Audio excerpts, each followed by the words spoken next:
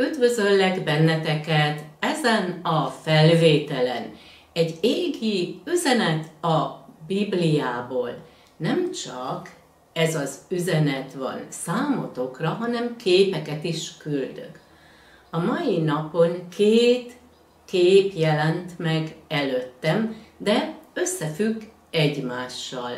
Az első úgynevezett képes lapon volt egy fekete asztal, nagyon egyszerű.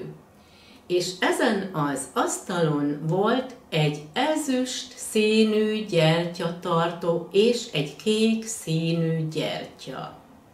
Ez a kék színű gyertya, ez utal a cselekvésekre, a munkára, a hivatásra, a kommunikációra, és jelenti az eget, és jelenti a tengert.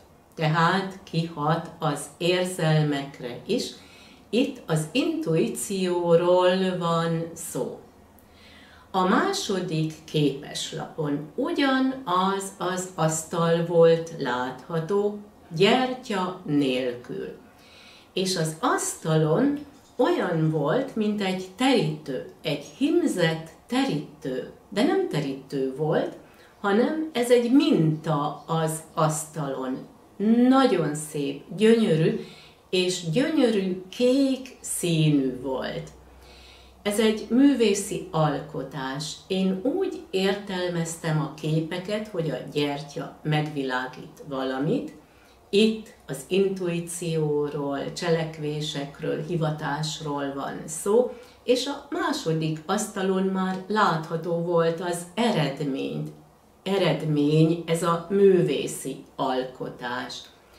És ez arra figyelmeztet bennünket, hogy hallgassunk a saját belső hangunkra, mi a hivatásunk, hol tudunk kreatívan tevékenykedni, az eredmény majd látható lesz. Hogy látod te a képeket? Természetesen leírhatod a kommentárba. Köszönöm szépen. És ha egy személyes képet kérsz, vagy egy üzenetet a Bibliából, ezt e-mailen keresztül megrendelheted. Az energiai egyensúly 4000 forint. És most kinyitom a Bibliát, és megnézzük azt, hogy mi az aktuális üzenet.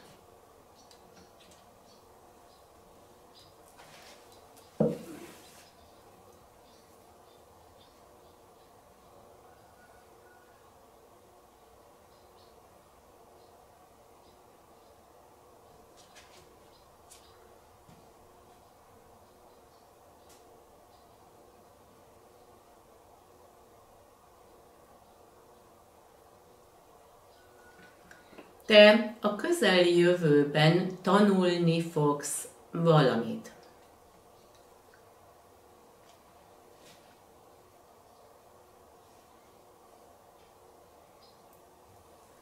Tudni fogod, hogy pontosan erre a tudásra van szükséged.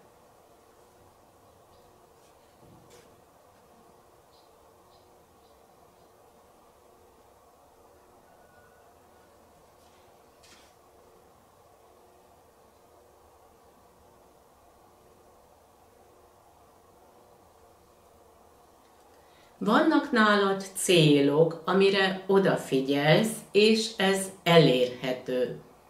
Itt tenném hozzá azt, hogy nem csak a szavakat kapom a Bibliából, hanem egy időben bizonyos gondolatokat is, és így működik ez a forrás, ez az üzenet.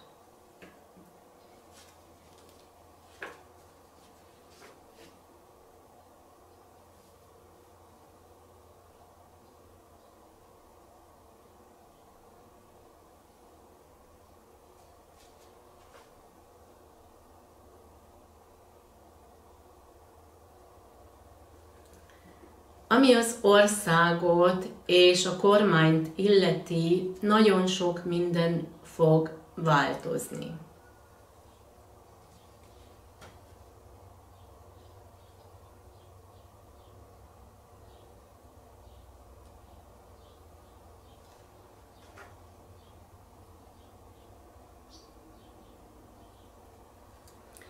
ezek a változások jól fognak alakulni. Ez jót tesz neked is, a népnek is.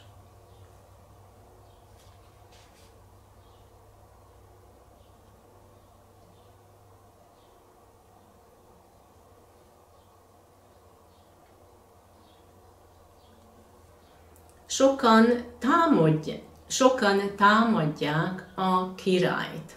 Itt természetesen a kormányról van szó.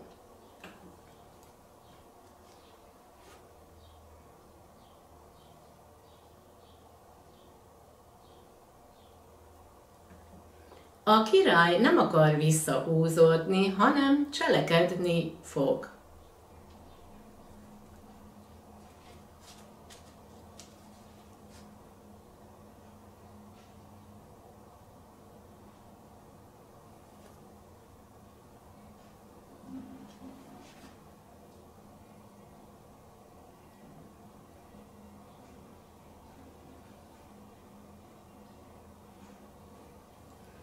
A királynak vannak tervei, nem csak ami a közeljövőt illeti, hanem a későbbieket is.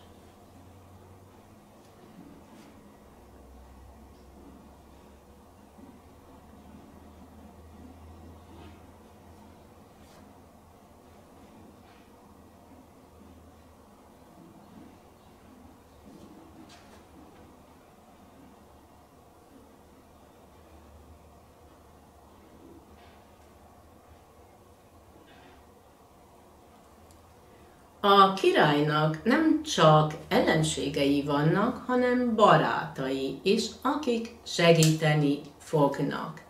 És ez volt az üzenet a Bibliából, kívánok egy szép napot, nagyon sok szeretettel, Dendera!